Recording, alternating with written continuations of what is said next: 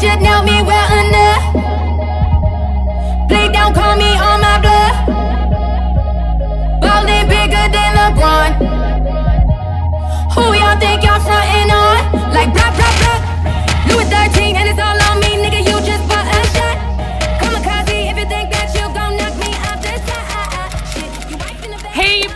welcome back to my channel. I feel like it's been forever since I've seen you guys, so we're just gonna get straight back into it. So what I'm doing is I'm concealing my eyes. I do this for every video. I use the LA Girl Pro Concealer in Toffee to make sure that everything is nice and concealed. And then after I'm done with that, I usually go in with my Ben Nye banana powder to make sure that all of that is nice and set to perfection.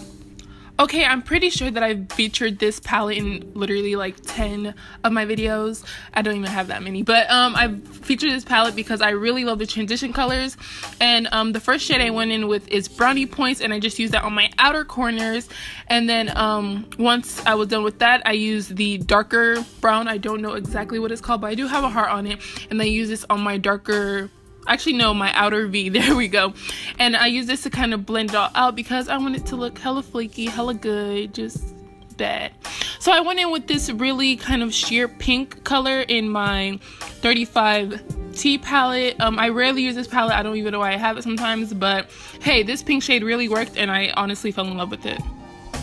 Now I just kind of played it back so you can see that the crease is kind of cut just a little bit, but nothing too much.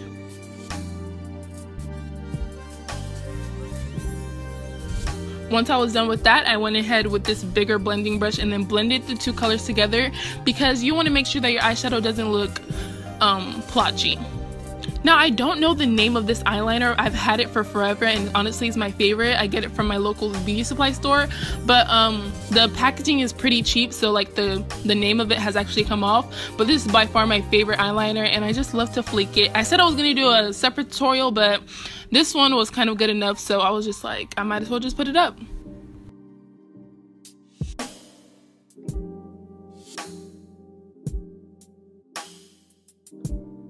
Now I kind of skipped the whole preparation of skin because I feel like I've seen that enough. So I already primed my skin and everything and I used the Revlon ColorStay Foundation in the color Cappuccino. This is kind of darker than me, but once I highlight and contour, everything kind of ends up being the same color as my neck.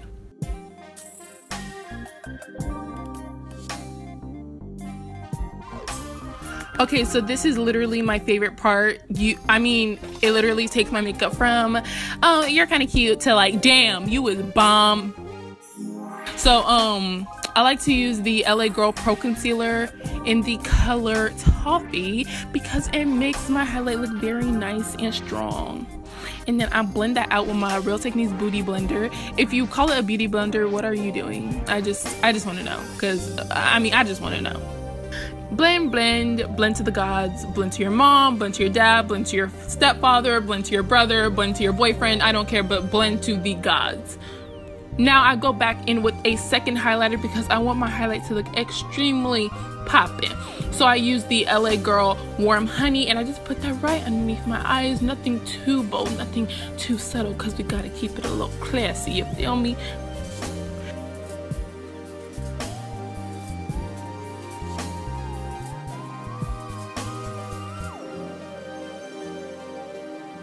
Cheeks be gone.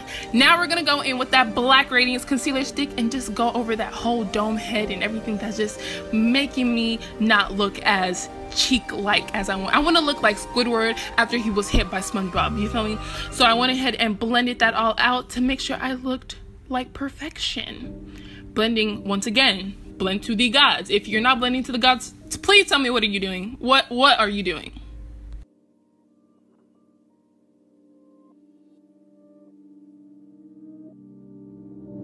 sucking them cheeks now going in with my la girl toast concealer i use this to go ahead and clean up that contour I make sure that my contour is clean so I can look a lot more chiseled. You don't want it to look like a line, so you want to go and make sure that you blend it out. Once again, blend to the what? Blend to the gods. And I blended this to perfection to make sure that it looked nice and cute and popping.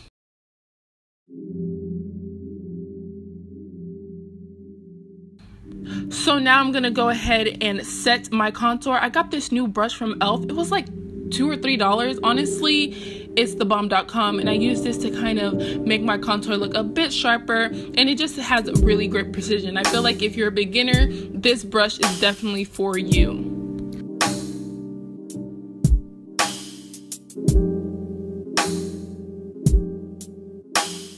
Now, in order to set my face, I told y'all that I stopped baking because it just made me look ugly and ashy. So I just went in with this little brush and kind of put it straight underneath my eyes because I don't want it to crease. And then um, put it kind of around my nose, just like any place that I usually crease.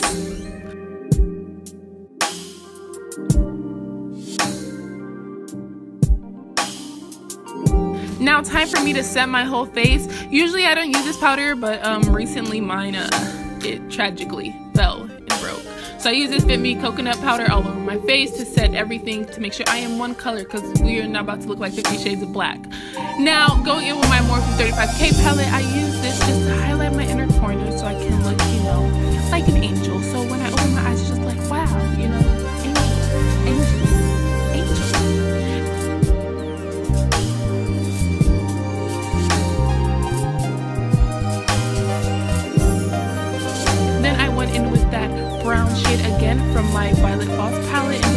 right underneath my waterline. If that's what it's called. If it's not, then um, you see what it is and um, hopefully you know what it is. So I know what it is. Okay, now going in with my fantastic, I like to look like a glazed donut every single day. Like, if it's not a glazed donut or a glazed momo or a glazed puff puff, then what am I doing with my life? I don't think I'm absolutely doing anything. So I'm highlighting, highlighting some more, highlighting the tip of my nose because you know the tip tip gotta look nice or whatever, and putting it straight on my lips because I want to look, you know, cute or whatever. Now going in with my favorite lip liner. This is the Nabi lip liner. I couldn't find a picture of it, so please bear with me. But I use this to line my lips, and then I'm gonna go in with my liquid lipstick. That's gonna come up in like a couple seconds, so I'm gonna stop talking. Here we go. It is ColourPop Beeper. At first, I really, really hated this color. My friend gave this to me because she hated it. So I was like, geez, I'll just take it from you and try it on myself. And honestly, I fell in love with it when I started using a brown lip liner with it. A brown lip liner just really changes any nude for any dark skinned girl and just makes it an absolute favorite. Now I highlighted my upper brow bone and basically this was the end of the whole entire look. Thank you guys for watching. Love you. Make sure you subscribe.